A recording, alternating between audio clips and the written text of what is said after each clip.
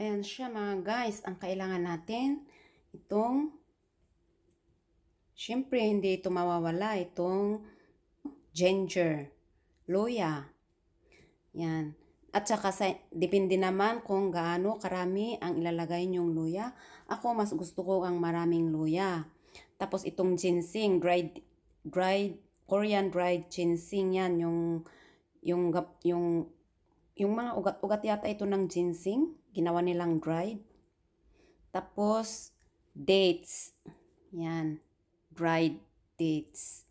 Maganda yan para sa anti-bacteria din ito. Tapos maganda rin ito sa may mga high blood. Tapos, yan, lemon. Kailangan natin ng lime or lemon or calamansi. Pero itong lemon na ito, ilalagay natin yan pagkat pag inumin natin. Pag luto na yung ano na ano natin yung gamot na para antivirus. Pero ang gawin natin, slicein muna natin itong luya. Tapos ito, slicein din natin ito kalahati para para ipaboil natin, madali siyang maluto. Ayan na mga guys. Naka, na-slice ko na yung luya natin at saka yung dates natin. At saka in-prepare ko na rin yung tubig. Tubig at saka itong takuri. Takuri ba ito? Or kapitera. Kung saan natin iboboil yung ano natin, gamot. Iwan ko kung anong tawag ninyo dyan sa kapitera. Kasi sa amin, kapitera ang tawag namin dyan. Yan, ilagay na natin mga guys itong lahat itong luya. Luya. Lagay natin lahat ito. Luya, dates, at saka yung dried ginseng. Pero yung lemon, mamaya na lang yung lemon. Pag pagluto na, saka natin ilagay yung lemon natin. Pero pag sa, sa baso natin ilalagay yan. Yan. Yung tubig, wag masyadong marami ang tubig. Baka, ano yun, aapaw siya. Baka aapaw pag nag-boil siya.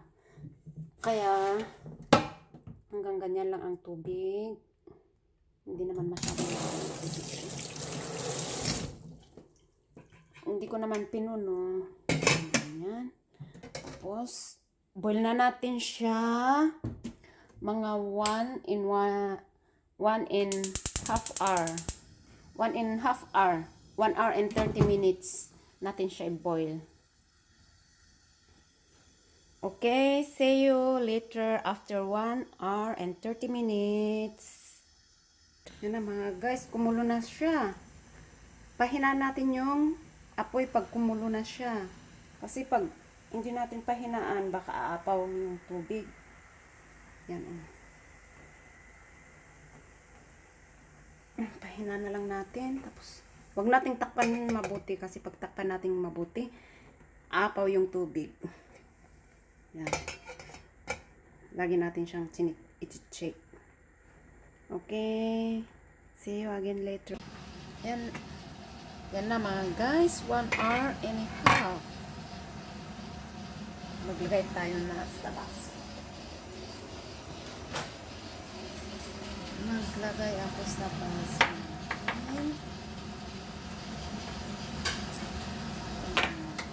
Pero pag bukas yan ng umaga, mas lalong ano yung tubig niyan, lalasa.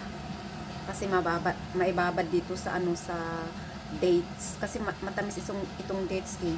Pero mga guys, kung kasi ako, pumunta ako ng supermarket, supermarket eh, kasi da, dati dati pag ako gumagawa nito nilalagyan ko talaga siya ng ano ng anong pangalan yun? Yung per, pears. Para masarap yung ano at saka maganda rin yung pears na ihahalo.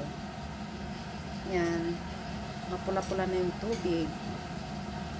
Pero kahit na hindi malagyan ng pears basta importante may dates at saka luya may ginseng. Yan guys ang kulay ang ganda ng kulay eh. tamis din naman yung dates Yan.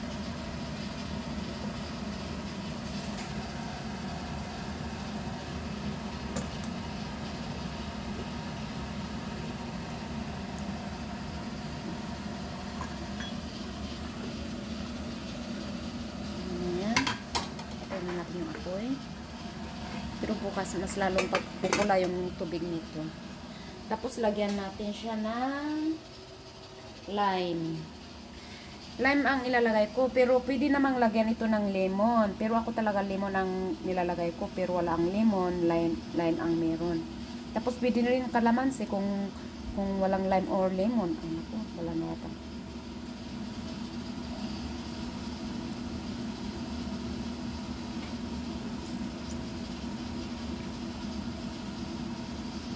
Ito walang lakas. Ito lang tubig nito.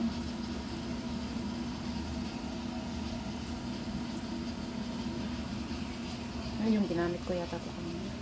Saglit. Yan, lag- lagyan natin ng lime.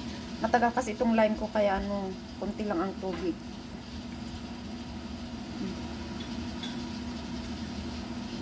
Tama naman sip ko ito. Depende sa inyo kung ano, gaano karami din ang ilalagay. Kasi mga iba gusto nila maasim. Mga iba ayaw naman nila yung maasim. Ang sa akin tama na yan. Tapos kung ah, guys, kung gusto niyo rin lagyan ng ano ng honey, lagyan niyo din siya ng honey. Talaga ako naglalagay ng honey kasi may ano, may pears na nilalagay ko. Ang tama na yan. Ayan. Halo-halo na lang.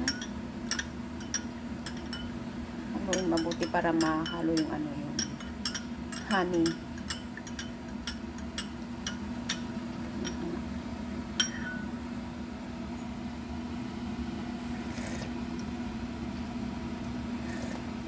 Mmm. Sarap.